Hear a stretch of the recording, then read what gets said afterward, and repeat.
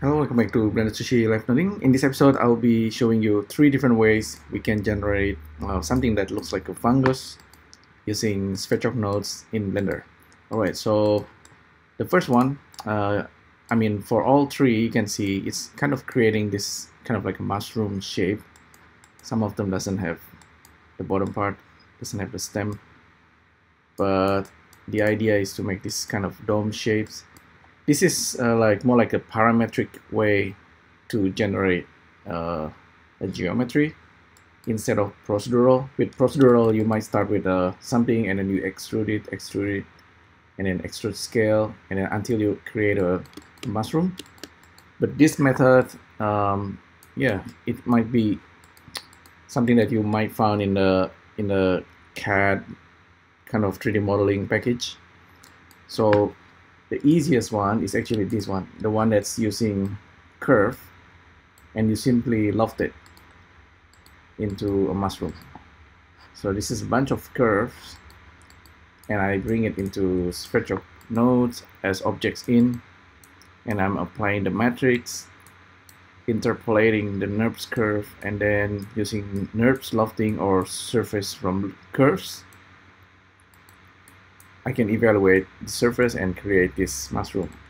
Although I I do find this uh, the cyclic is a little bit it's a little bit off. I was expecting the cyclic to go this way.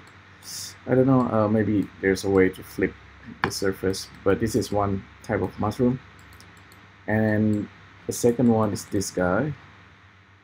This is the one where I'm using just simply a, use a cylinder and I simply uh, play around with this meridian meridian profile to get a mushroom shape.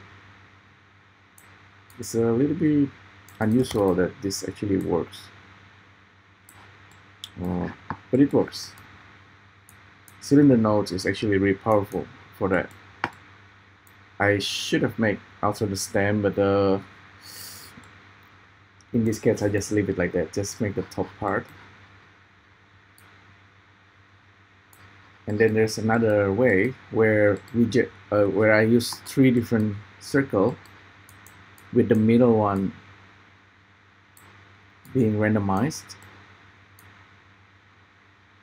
And I simply join all the curve and then kind of lofting it as well.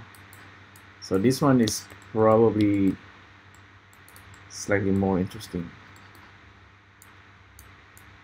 It's not it's not super difficult, uh, but it's uh, you can do a lot. So it's kind of like a this is like a making like a like a lamp shape. I think the lamp shape itself is probably based on the mushroom or fungus.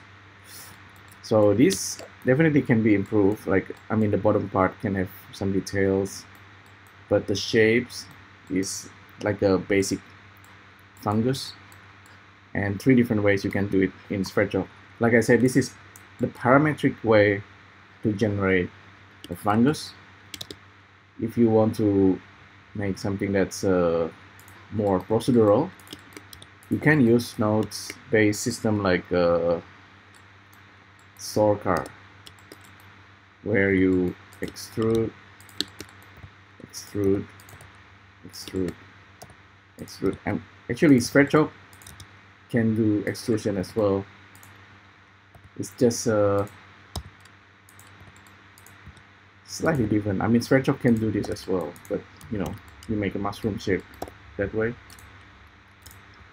So, yeah, a couple of ways you can generate mushroom using uh, using Sverchok nodes. Uh, this is the basic one, basic fungus.